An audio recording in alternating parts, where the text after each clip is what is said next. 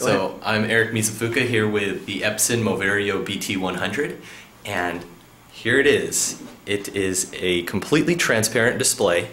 So Epson is most well known for printers, scanners, and projectors.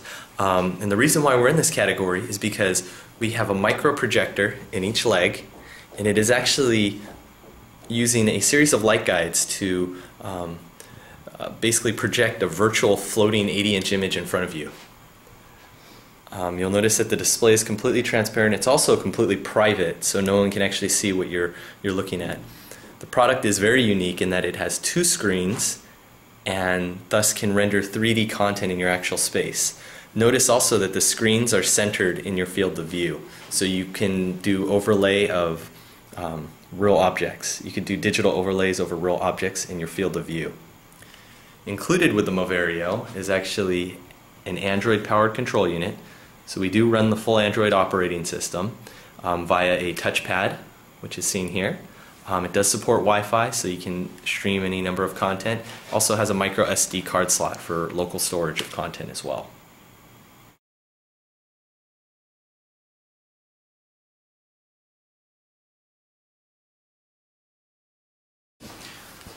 So what we've got is uh, um, the webcam is feeding um, the graphics to the laptop. The laptop's doing the image processing, and then feeding out graphics to both the laptop screen and a VGA out. VGA out is being transferred back to the Moverio via um, uh, a video input wafer board um, that uh, Epson provided for us. Um, we hope that in future, uh, future versions of hardware will have it all, all contained, but that's where we're at right now. Um, so uh, yeah, let's get started here. So it's right now, you can see the screen, it's showing exactly how he should hold his hands to avoid the danger of crushing. And it's showing him exactly which um, nuts need to come out so that he can remove the, the head.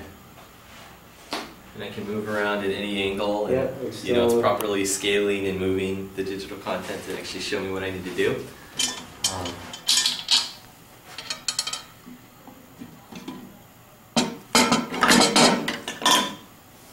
So if you were, you know, a brand new mechanic, you might actually not know what the shaft seal was. You might not exactly know um, exactly the best way to do it. And this provides you intuitive visual guidance on what to do. And so the next step is going to be to measure the, um, the shaft diameter. So we want to replace the shaft if it's going to be less than the specified uh, width. Then we're going to hold them up against the uh, camera and snap a picture of it. And so that camera uh, picture will be stored in a maintenance record so that if the piece of machinery breaks down at any point in the future, we can go back and see visual evidence that the measurement was properly taken, what the measurement was, and so it kind of ensures that uh, if a mechanic, uh, lots of mechanics tend to just write down a random number instead of actually doing the measurement. So this makes sure that it actually is done and we have video evidence that was done properly. Here's another cool project that uh, our partners at Apex Labs developed with the Moverio. It's actually an add-on that includes a camera, mic, and a full motion sensing package, which includes IMUs and magnetometer. Um, and it allows you to do kind of hands-free uh, navigation. So if you look at the what what's on this screen of this uh, uh, phone, this is actually I'm moving the glasses right now, and in the center is a cursor.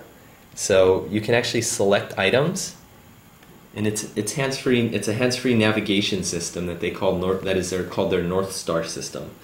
So basically, you can look around for different reference points in your actual space, you know, and you can actually get more information and make um, selections based off of uh, just looking around.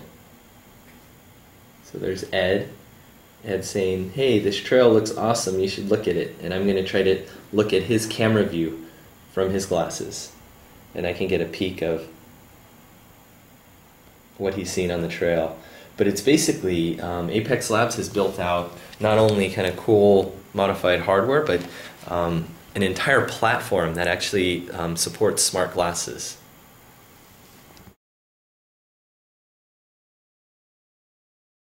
So we're here with another developer project on based on the Moverio BT100. What this is is actually a night vision system um, with IR emitters, all in a custom 3D 3D printed housing to fit onto the Moverio, as well as an IR camera.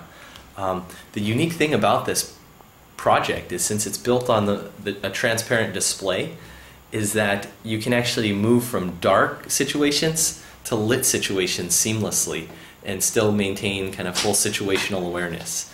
The other real benefit of this versus an existing night vision system is that you'll never be blinded out.